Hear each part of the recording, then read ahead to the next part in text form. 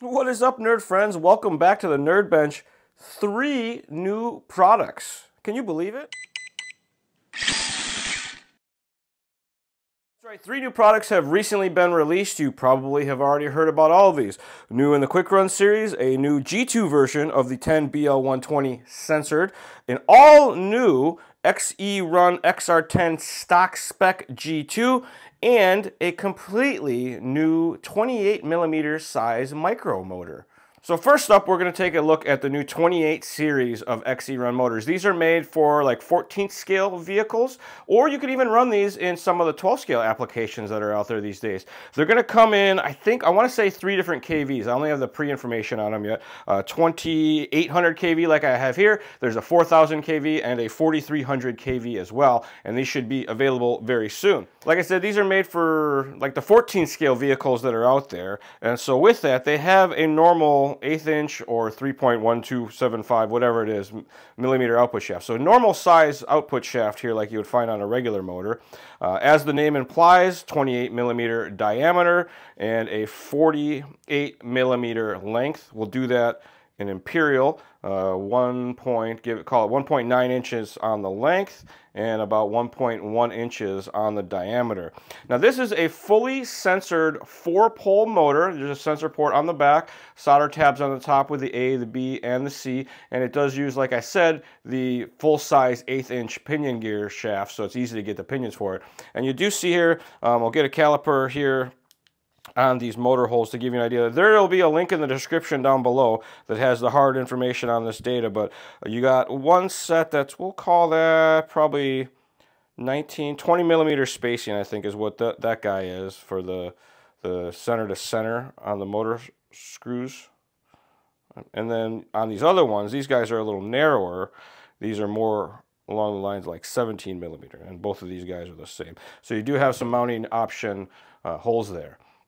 And like I said, this is just a pre-production sample. We're to do a full-blown unboxing on these once I get that in, but that is just a quick look at the new XERun 2848 series of micromotors. It's, it's so small. Let me hold this up to a regular size motor. So this is like a normal 3652 motor. You see, it's it's quite a bit smaller, more along the lines of like a 400 size motor than a, this is like a 540. So this is not quite as small as a 380 size, kind of bigger than that. So it's kind of unique. But yeah, that is a very quick look at the all-new XERun 2848 motor from Hobbywing. An update to the QuicRun series. The QuicRun 10BL120 sensored has been around for a second. It's been a fan favorite, and this is the G2 version of that with some updated, I guess, design, core internal stuff. The circuit boards are all been kind of beefed up a little bit. It has 12 gauge wire on it, new power capacitor built into it, has some new settings. So this is the QuicRun 10BL120 G2 sensored edition. Uh, as always, we'll have a link in the description down below to give you some more information on this. It is rated for two to three cell LiPo, and it's 120 amp rating. And th those amp ratings are based off of the specifications of the components we use. So it doesn't necessarily mean it's really going to see 120 amps in real life all the time. But we'll throw the calipers on here for the sizing, you got 44 millimeter on what would be the length. And I go, I like to do it from the, the PC board itself. You got 37 and some change, and the case itself is 31, maybe 32, call it. And then our height to the top of the heatsink is going to be 22, call it 23, and then all the way up to the top of the screws on the fan, you're all the way up to 34. Uh, this does have heavy duty 12 gauge color coded wire. I know not everyone's a fan of the all black wire, so it's nice that that's there to keep it nice and simple on you. Uh, this guy, as it's a G2 model, it does work with the LCD Programming Box Pro, so you'll be able to use that with this as well. It does have the classic button switch design for easy calibration. But once we get the production version of this, the package one, we'll do a full unboxing, plug it in, get it working. But this is just a quick look at the all-new QuicRun 10BL120 G2 sensored version.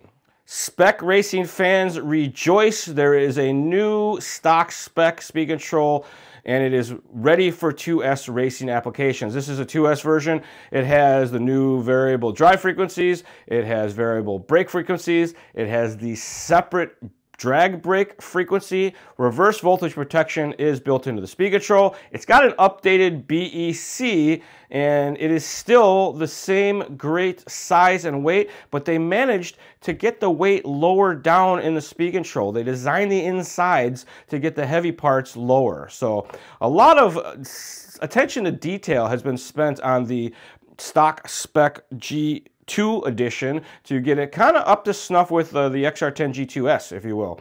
Uh, stock spec's been around for a very long time. It's been a fan favorite in the spec racing world. You can't really find a more power-packed tiny speed control than you can with a stock spec. And so it's great to see an update here. New case design. It still has the heavy duty wires, power cap, uh, it's got a new kind of updated, smaller style power cap, but again, this is another one of my pre-production prototypes. So don't don't quote me. There should be, there could be some changes by the time you guys all get this one. Uh, when I do get a packaged production version of this, we will do a deep dive where we'll do the unboxing, run through the features, hook it up to a tuner. But SSX XERun series, this will work with all of the programming devices except for the LED card. Uh, works with the OTA, works with the LCD Programming Box G2, LCD Programming Box Pro G3, or it will work with the Bluetooth features that are in the Tunalizer as well. Check the link in the description down below if we have any hard specs for this to post right now. We will make sure that that happens. All right, the moment we've all been waiting for. Let's throw the calipers on here. So you got 13, call it 14 millimeter height from the bottom to the top. That is a short little guy for uh, the low profileness of it all. 30 millimeters on the width and our case length, or I guess that would be the length. The case length down here is still just under 29. You go out to the edge of the board and you're going to be just under 35. Well, there you have it, folks. A quick look at the all-new XR10 stock spec G2 coming soon to a hobby shop near you. And like I said, when we get the production version, we will do a full-blown unboxing and run through all the cool features that this guy has to offer. That's just a glance at what it's got.